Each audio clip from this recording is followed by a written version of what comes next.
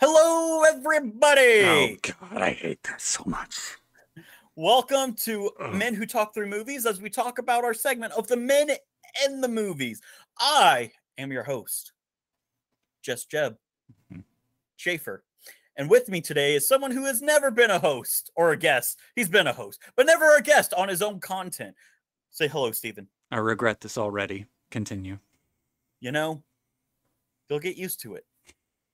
You will get used to it. So Uh-huh. yes, with me, Stephen is going to act. Stephen is going to be the one who talks about his favorite man from his favorite movie, because that's what we're here to. We're, we're men. We talk Yes. about movies. So, and we want to talk about the men who have inspired us or made us feel something, or you know, stuff like that. So, Stephen, Yeah. who do you have for us? All right. So we all know Tom Cruise, right? Ah, yes, the Scientologist. We've all got our cringy moments that we think of when we think of Tom Cruise. We've either got a crappy movie, or we've got a really weird thing that he's done in his life, or we've got his hilarious character in Tropic Thunder. Something comes to mind when we think of Tom Cruise. Or you think of Maverick, That's true. That's true. which I still need to see that movie. Okay, so uh, when you guys see this, because this will come out a lot later than when we're recording it, we're kind of backlogging stuff. But um, as of recording this right now, like this upcoming uh, Saturday, I'm gonna see it with my father-in-law. I'm gonna see the the uh, new one, Top Gun Maverick. I'm so pumped. It's gonna be exactly as cheesy as the first one, and it's gonna be exactly as exciting, and I'm so ready for it. It's actually I've heard it's actually better than the original. I, I've heard that they kind of tamed down the love story, which was kind of the drawback on the first one. Yeah, agreed. Agreed. Yeah. Anyway, but we're not here to talk about Maverick as That's much right. as I would love to. That's right. As much as I would love to. Yes, we're so we think of Tom Cruise. Ready? A movie of Tom Cruise's that is actually fairly popular, and yet most people still forget about it. The Last Samurai. Mm, I love this movie. Now, there are very few movies, I don't want to say that entirely, but there are some movies that in my family we pass down from generation to generation. For my family, the last Sam, it, it's it's Flyboys. For some reason, it's Flyboys. Fly Boys. Oh, forgot about that. But that's a Yeah. really good movie. It's, it's, it's a good movie. It's you know, it's got it's it's, it's like uh, Top Gun. and It's cheesy, but Yeah. it's it's got a lot of really good qualities. I could have talked about him as one of my characters as well, but I wanted to talk about the character in The Last Samurai, played by Tom Cruise, Nathan Algren. Uh, he is a uh, a retired military leader from the United States who gets called over to Japan to help Japan in their efforts with an insurrection within their government. So the way the way the basic setup works is um, the Emperor of Japan. Uh, one of his trusted uh, leaders and mentors is not pleased with the direction, and this is somewhat based on a true story. There's some issues with it, and the real life character is not as noble as the Tom Cruise character. But I was so impressed with the character that Tom Cruise played that I didn't care what the history was because this character was so endearing to me.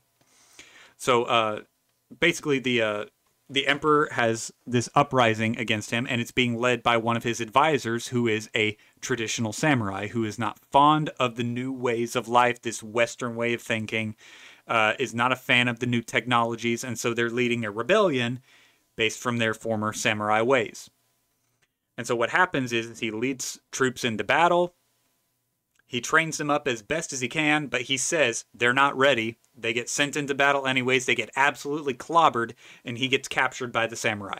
They treat him well, and so during the time that he's captured by them, he starts to fall in love with their way of life and ends up converting to their side and fighting against the emperor. And by the end of the movie, and this is just, y'all know how we are with spoilers. We really don't give two craps. By the end of the movie, um, they are defeated. The samurai are completely wiped out almost. Like the, the, the village people are fine, but the warriors are wiped out. And he comes, Tom Cruise's character, uh, Nathan Algren comes. He presents the sword of the Emperor's former teacher. And this is a moment where the Emperor has to realize we can't forget where we come from. We have to remember who we are and who we were and learn from the things from our past. And I find it is a very beautiful moment because not only does Nathan Algren have to wrestle with the person that he was before, he re- he gets flashbacks of these times when he was uh, w- when he was leading these battles against uh, Native Americans, and there's some things that he did during those times that really haunted him.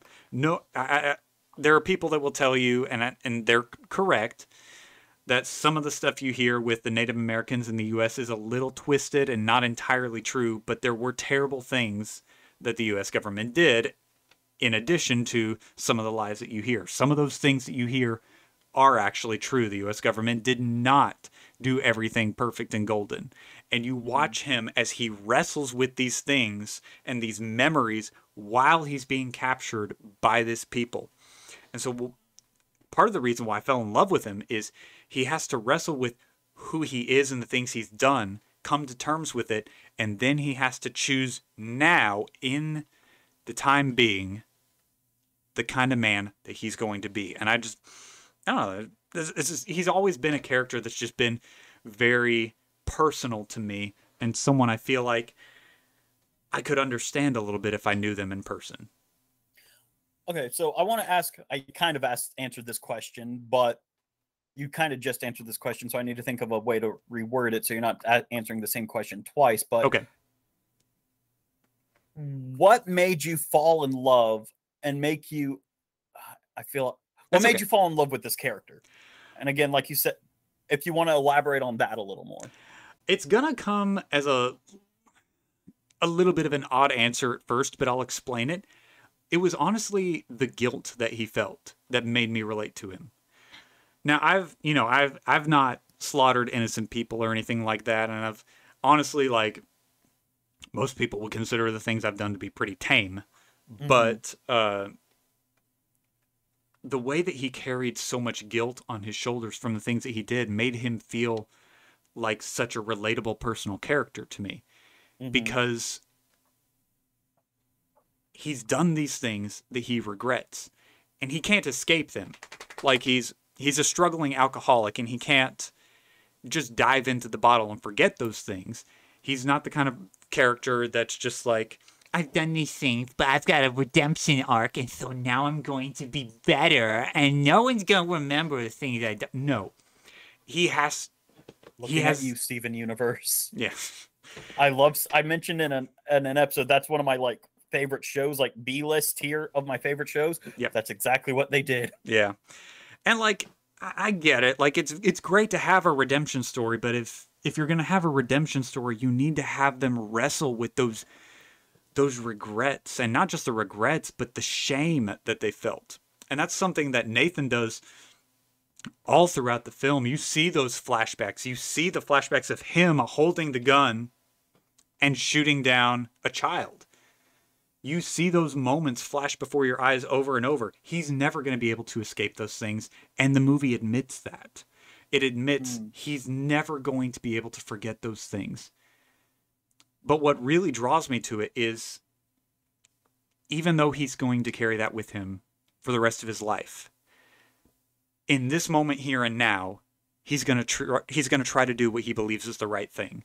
He may not be able to undo what he's done in the past but he's going to try to do the right thing now while he's still got the breath to do it. I'd say that's what drew it to me first is kind of the guilt he felt and the sense of duty. For some reason, I, I noticed this in my personal devotion. Duty is a big thing for me. Uh, this sense of like obligation of this is something that I need to do because it's mine to do. Nobody else can do this. You know, nobody else can be a husband to my wife. That's me. That's only me.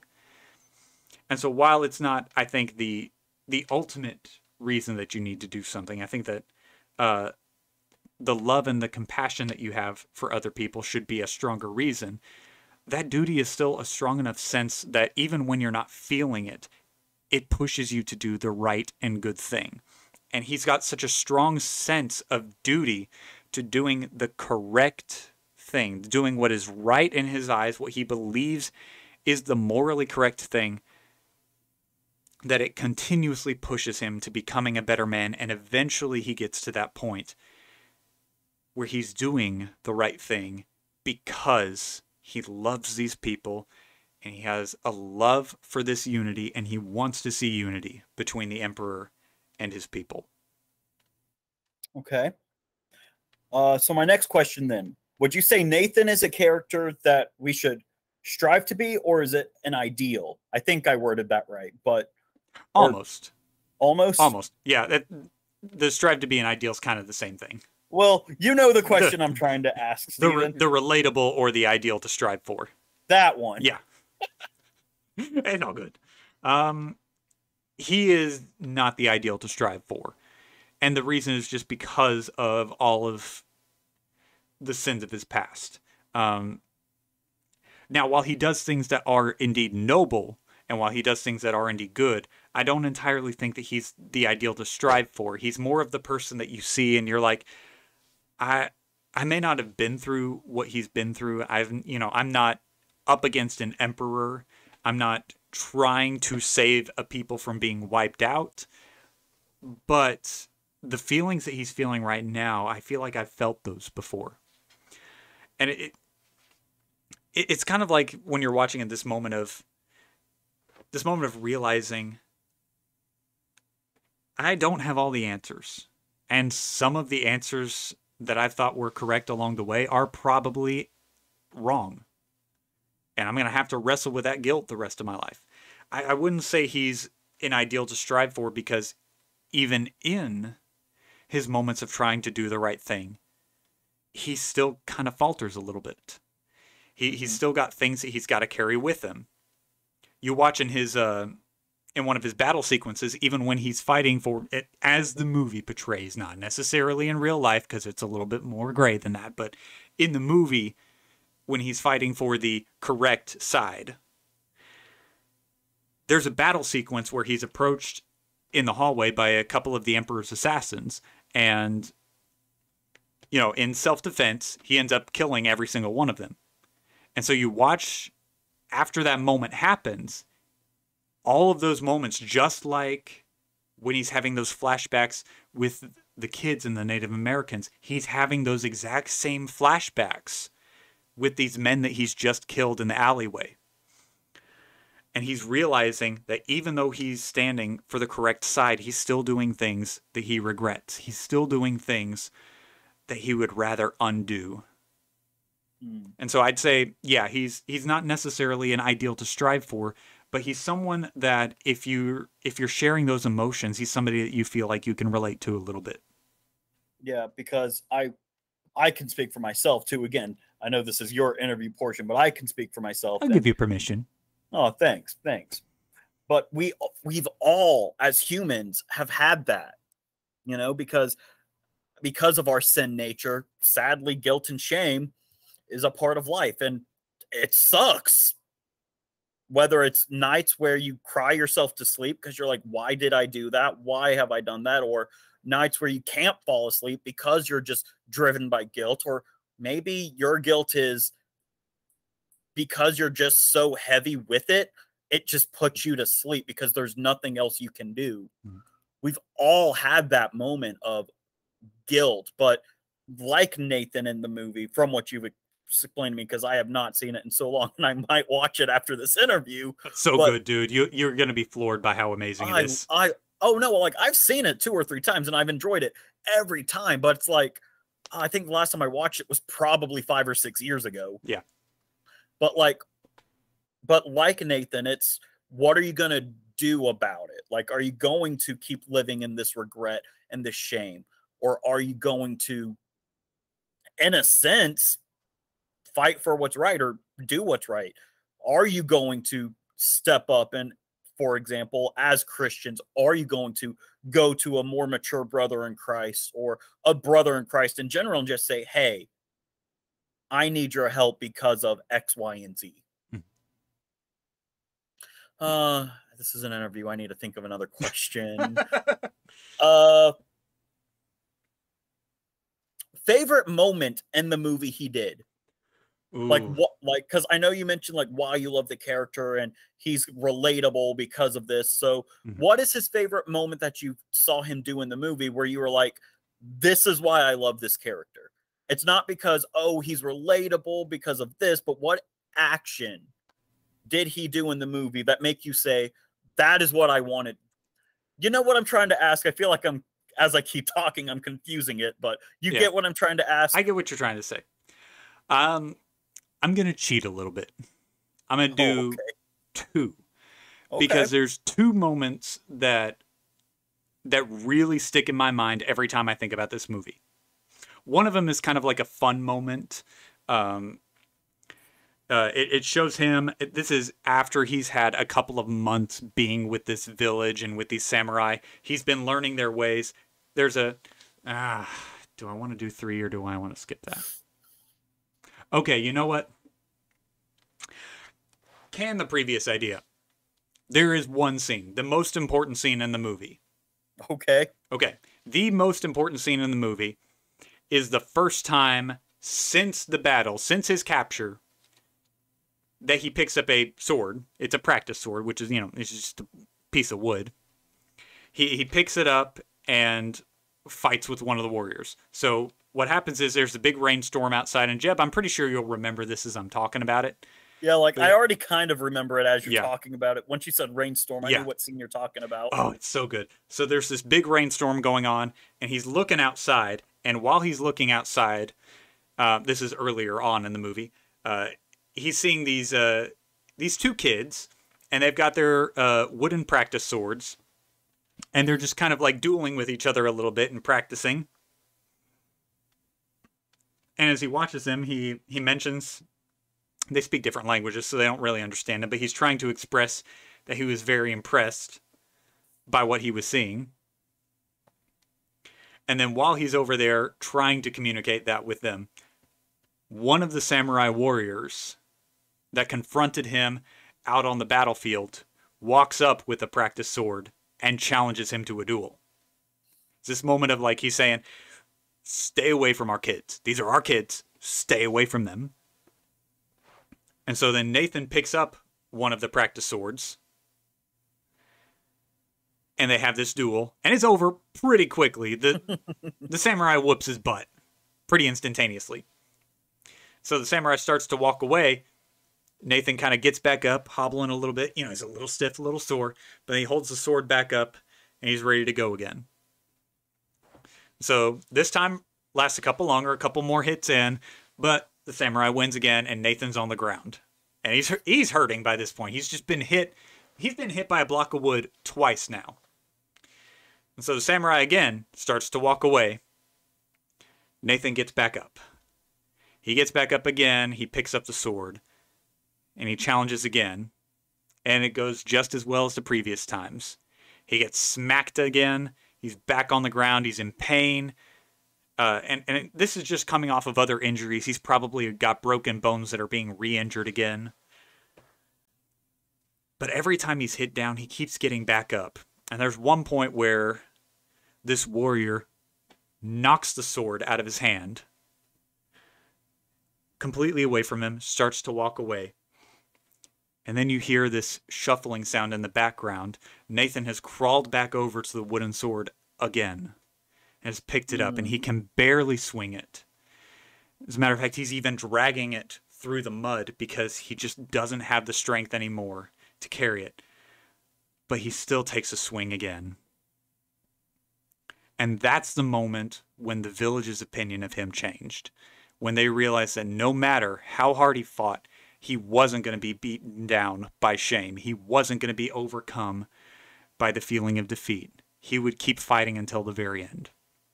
And I found that as an incredibly important point because, you know, number one, it shows just it shows part of his character. He he doesn't give Mhm. up because he's been beaten down. But I think the most important thing it does is it fights against this and I'm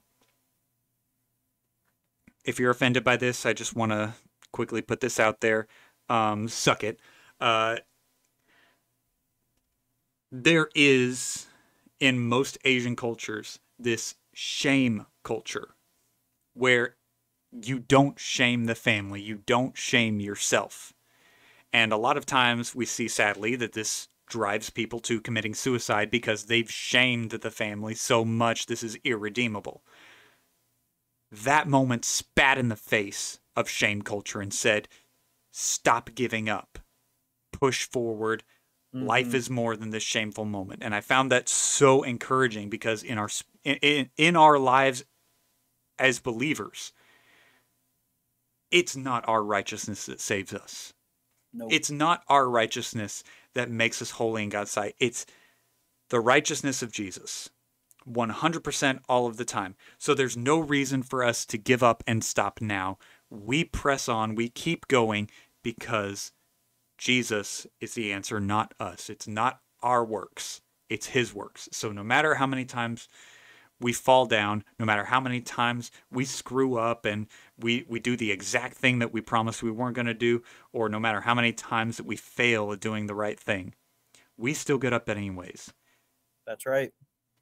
So that's yeah, I would say that that's that's really the biggest moment for me that really shows some of his his manhood and in that moment, while not as a whole he's not really an ideal to strive for, that moment is an ideal to strive for. Yeah. I think we should all as as men definitely, but as believers in general, we should be striving for that kind of a faith that gets up no matter how many times we're beat down. That's right.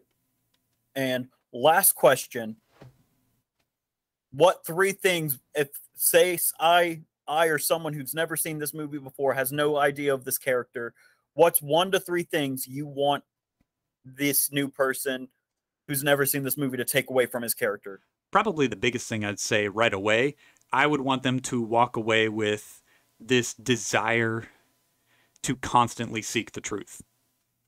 And the reason I say that is because, like, you watch this man evolve. You watch him change over time. You watch him as he grew up believing one thing. He he grows up on a like he starts off in a completely different army. But he's so committed to searching his own soul and searching out the truth that when he realizes he's wrong, he switches over. He's committed to the truth. And if you are committed to the truth, then that is going to help sort out a lot of these other questions that you're going to have. If you're if yeah. you're committed to the truth, it's going to help you to understand where you need to be uh, on certain social topics, but especially when it comes to these spiritual topics. Are you committed to seeking the truth about whether or not God exists? Or are you hoping that he doesn't exist so that you don't have to answer for the things in your past that you don't want to admit? I'd say that's probably the first thing I'd hope they come away with. Uh, the second thing would be like that scene I was just telling you about this tenacity to continue to stand up over and over and over. I would want that person to come away and every time that they're hit down for something that's unjust, to remember that moment and say, you know what, even though this is not the way it's supposed to be, I'm still going to get up anyways and I'm still going to do the right thing. I've learned the truth at this point, so I'm going to take that and I'm going to continue to fight until I'm not able to stand anymore. Mm. And I'm trying to see if there's a third thing. There's it's a, hard. Yeah. There's a scene at the end of the movie, right before the final battle, usually I'm not a fan of final battles. I usually think that it's too much hype for too little reward. I think this is one of the few times where the final battle actually delivers. Uh, there's a scene right before the end where uh, the leader of the samurai rebellion, his name is Katsumoto. Katsumoto is starting to question himself. And you start to see image like little moments of this shame culture appear where he's trying to decide is it better to die by my enemy's sword or by my own? And Nathan Algren just looks at him and says, Then let it be by your enemies. Don't let it be by your own sword that you fall. Let it be by your enemy's sword that you fall. And I love that because, and you know, some, some of that was elaboration, but what I love about that is there's no giving up in his mind. It's fight for what's right until the end is here and there's nothing more to do. He becomes an encourager for those around him. I would say the third thing that you could take away from it is once you've sought the truth and once you've built up that tenacity to fight for what's right, learn how to be an encourager like him so that you can take all of those strengths that you've built up in yourself and you can pass them on to somebody else.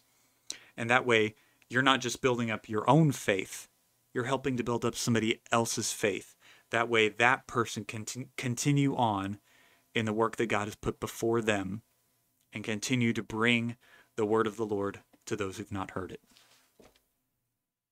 All right. Well, Stephen, thank you so much. Thank you for reminding me of this amazing character and movie. Like I said, I'm probably gonna go find it and watch it if I if I can. But um I wonder if it's available. I'm gonna while while you're closing, I'm gonna check to see if it's available anywhere. Okay. But um yeah, thank you y'all for the audience for listening and for listening to some of Stephen's favorite characters of in movies and I hope this struck your interest in movies as well and I hope y'all come back for more movies, more men, and more men who talk for movies. Yes. And as of right now, as of this recording, as of the recording, it's on Netflix. And of course, anytime we do a Man in the Movies segment, you just check up here in the corner, and there is a card that will take you when it's done, when it's done, to that Men Who Talk Their Movies episode where we do that. All right. So, uh, Stephen, again, thank you. And everyone else who's listening, thank you. And we will see y'all in the next movie as we talk through it. Bye, guys. Bye.